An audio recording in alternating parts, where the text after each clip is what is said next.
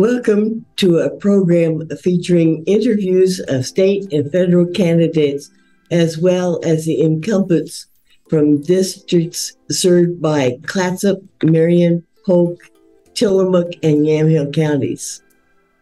I'm Ruth McEwen, an advisory council member serving Northwest Senior and Disability Services Advisory Council. I want to welcome candidates, incumbents, and advisory council members to the 2022 Candidate Forum, which is sponsored by our Senior Advisory Council and our Disability Services Advisory Council. Northwest Senior and Disability Service is a local governmental organization that provides Medicaid, Oregon Project Independence, Older Americans Act, and grants funded programs. The mission of the Northwest Senior and Disability Services is to promote dignity, independence, and health, honor choice, and empower people. The assistance and support we provide consumers include information and assistance, in home and community based services, and financial and medical help, meal sites and home delivered meals, option counseling, adult protective services, Medicare counseling, pure peer mentoring, money management, as well as health and wellness programs. Because of the number of state legislative districts that our service area covers, we have invited a large number of candidates to be interviewed. Each candidate has been given information on the format used in these interviews. Each candidate will be introduced by a member of the advisory councils. Then each candidate will have the opportunity to answer questions which will be timed. That way, you, the viewer, can compare apples to apples. We thank these candidates for their willingness to share their views about services for Oregon seniors and people with disabilities. Hello, my name is Tita Montero. I'm a volunteer with the Senior Advisory Council at Northwest Seniors and Disability Services. Today I'm interviewing Kevin Mannix. He is a Republican candidate for House District 21. I will be asking questions related to seniors and people with disabilities. Welcome, Kevin. Thank you for sharing your time with us. Tita, thank you very much. It's my pleasure to be with you. So I have five questions to ask you, and um, we have uh, about, well, we have as much time as we can get through. I'll start off. Tell us about your platform and experience that would encourage a senior or person with disabilities to vote for you. Well, I think my experience is that, well, I know my experience was that I served in the Oregon House of Representatives way back when for five terms, 10 years. And uh, I last was in the legislature, though, 20 years ago. I've been out of public service I have a law firm in Salem. We've had the law firm for 36 years. I own it. I've got five attorneys working for me.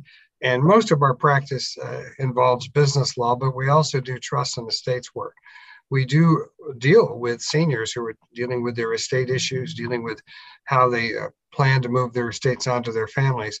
But we don't have any direct legal rep- representation issues in terms of persons with disabilities my background there really comes from my service in the legislature when I served two terms where I was on the Ways and Means Committee and the funding for uh, these programs, programs for seniors, persons with disabilities, and the like, um, all ran through Ways and Means. And so I had at least a, an education as to the financial needs and the implications.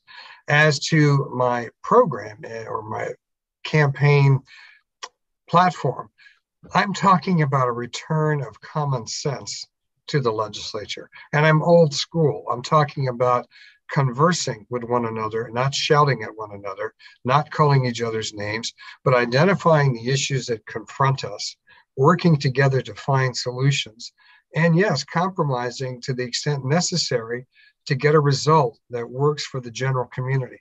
And from that perspective, in my past, I've been a very effective legislator. During my 10 years in the House, I pushed through 135 pieces of legislation to be uh, passed by the House and the Senate, more than any legislator uh, since statehood, since 1859. And I did this not because it was my way or the highway, but it was because I reached out and found other legislators to work with on given issues. So now I want to bring that old school experience back to the Capitol and talk to legislators, both Democrats and Republicans, about how we need to work together to solve the problems confronting our fellow Oregonians and to make a difference in their lives. Thank you. Um, tell us what you know about OPI and how it improves the lives of seniors and people with disabilities. I think the most critical element here is the opportunity of people to help themselves, to help their family members, to be engaged, to take care of one another. And I, I emphasize that because I think that in the last 25 years or so, we've discovered that one of the best things we can do is help people be independent, dependent on the capacity they have to be independent. Some folks can be independent in their homes with some amount of outside support. Some need greater amounts of outside support. And it's a flexible program that addresses the level of need that the individual has. It's not one size fits all. I love the fact that it starts out looking at the individual and supporting the independence of that individual, and then has a gradation of services and involvement. And yes, ultimately, some folks need to be in facilities where they can be provided with assistance, but we don't force people into those facilities. We assist them in getting there when they need to be there and we also have a, a, gradation in terms of the resources that are applied. People that are financially more self sufficient need to be carrying a larger part of the burden. And I think we need to be tuned into making sure that that works well so people of means do get the support services, but are not getting, I'll call it a free ride. That is something that they can afford. But there are other people who are of lesser means who need the same assistance, and we need to make sure we provide it to them. I think overall, it's what I'll call a, a program that allows a customization of care. And we need to make sure that we have the facilities and the staff and the program people to help make sure that customization is available. But we also need to make sure that the funding is there to make sure that we finance all of this. Great bang for the buck. Uh, if, if we want to look at it that way.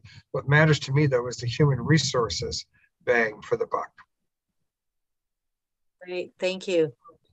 How would you prioritize state funding, including funding that is matched with federal funds, such as Medicaid, for services to an increasing senior and people with disabilities population? I think that the smartest thing we can do is to maximize the amount of federal funding we can access by using our state funding. The, uh, the bang for the buck is there. Now, we always need to be evaluating how many strings are attached. And we may have to be choosing among some federal programs where there are more micromanagement requirements in program A versus less micromanagement program uh, requirements in, in package B and looking for the programs where we get the most capability for us to design what we can do for our seniors and persons with disabilities, but also maximizing the federal dollars. Now, in a perfect world, we'd have enough money to do all the match and get everything. In our less than perfect world, I would prioritize getting putting up the match money where we can maximize our capability to do things and uh, I'll say push back against too much micromanagement from federal rules. And by the way, I think the federal government's gotten better at this, but they're not perfect. Okay. During this time of increased risk of homelessness and food insecurities, what will you do on a state level so that seniors and people with disabilities no longer face a lack of accessible, affordable housing and receive appropriate nutrition? This is a complex problem. It affects all of our folks who are homeless, but folks who are seniors or persons with disabilities are the ones who are hurt the most because they're the ones who most need assistance in dealing with the issues that confront them. And when we talk about homelessness, we're talking about a range of issues. There are folks who are uh, drug and alcohol or drug or alcohol affected and addicted. There are those who are afflicted with mental illness issues. There are others who are simply economically hurt who are not in a position to afford housing. And there are some who can't find a job to fund what they need to do. The large group of these folks, there are folks who need an outreach program which is providing them with services which is able to identify on an individual basis who needs the services the most and who is also going to be the most cooperative. Now, to be blunt about it, if we've got a 25 year old who is drug addicted and doesn't care and just wants to keep using street drugs, well, we're going to have to address that through another system. But when you have older people who are trying to deal with the limitations that they may have incurred over time as a result of their medical situation, yes, aging itself, disabilities, we need to be very creative and positive about working with the agencies that can most help these folks. And as to the housing issue, I like the fact that Goodwill Industries in Salem has come up with the plan for a cluster of homes in, in, in, a nice housing area. It's on Market Street. I've looked at this. I've talked to our mayor elect about it. I think it's a great model for what we could be doing. Where, as I recall, there's five or six cottages which have a courtyard, but each of the cottages is a home, but they've been designed so that low income people can live there. This is an example of creative thinking. They've looked at the capability of these folks to afford housing. They've built that into the program. We need to multiply that kind of approach for folks who can still live in their own home with assistance. And that's a great way of addressing the homelessness where folks over time, because of age and disability, may have been forced out of their housing. I'm now I don't have the time to give a complete speech about this, but to me it is a complex subject, but it requires that we have legislators who are listening to the people out there. Right now, I have hired a consultant who's going to work with me. It's not paid by my campaign, who is out there interviewing folks who are homeless to find out exactly what are the factors. We're trying to interview 160 people in the Salem, Keizer, Marion County area in a gentle way uh, where where are you from? How much education do you have? What are your medical conditions? Who's helping you with those? Do you have? Are you signed up for the state programs? A comprehensive personal discussion. Why? Because it'll help inform me better about what's going on. Now, our friends who are providing services already will also be able to educate me about where we can make the biggest difference.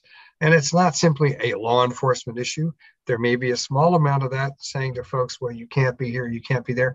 But when we say that, where can they be? How do we provide the housing that they need? And how do we also provide the programs, services, and medication uh, treatment to help them be self sufficient? And if not, how do we then address their needs when they can't be self sufficient? It's uh, so I'm ready to dig in on that, but I want to be listening to the folks who are dealing with folks every day who are homeless. And yes, of course, we've already got a group, and I'm speaking to it, which deals with folks who are seniors and folks with disabilities. And I want to hear from you as to how we can best fashion a humanitarian, positive response to a critical problem. Thank you. What would you do as a legislator to address the behavioral health issues that have been brought on by health issues and isolation related to the pandemic? That's a tough one because we still are learning what those issues are. But to the extent that uh, we're in this process of learning, we need to be listening to the services and care providers who are interacting with these folks to understand how they've been affected. I think isolation is one of the most difficult challenges facing folks with disabilities and seniors. And we need to make sure that our outreach programs have been beefed up. I know that, for instance, Meals on Wheels is a wonderful interactive program. How do we make sure that as they develop information about isolation with a given individual, that we have the capability to carry on an intervention, a soft, positive intervention, not a hard one, to identify what issues are confronting that individual. And some of them may have issues that are a result of isolation, and we need to embrace them, surround them with love and comfort. And I think, and I'm not a psychologist or psychiatrist, but I think that will help ease the burden of identifying what sort of additional services do we need. And it's going to mean human services, an interactive relationship with that individual, not a phone call, uh, not a form in the mail, uh, but real interactive relationships. And that means we need to spend the money to support the staff who can go out there and engage in this. And beyond that, I would add there are folks who are retired, who are active retired, who may be willing to be engaged to support these programs as volunteers with some training. And how about coming up with a way of helping them? Can, do they have some extra medical insurance costs that we could compensate for them to volunteer to help expand our staffing mm. so that our professionals and our paid staff uh, can turn to some volunteers, a volunteer who might say, follow up uh, on a visit when everything is seems to be okay, but uh, hey, instead of waiting a week, every day someone drops in. Now, I don't have a scenario that's all set out yet, but I think we need to be thinking creatively about how we help our retired people who are active and capable to help those who are not do more of that. Well, some very interesting um, scenarios come to mind for me. Thank you. So we have reached the end of our questions. Um, thank you, Kevin, for spending a portion of your day uh, speaking with us and answering questions focused on seniors and folks with disabilities. Again, may, this may is I add Kevin. Since we since we have a little, I'm sorry, I interrupted you. Sure, go ahead. Since we have a little more time, can I just add a wrap up message? Sure. First of all, I appreciate this interview and this opportunity to engage in some dialogue.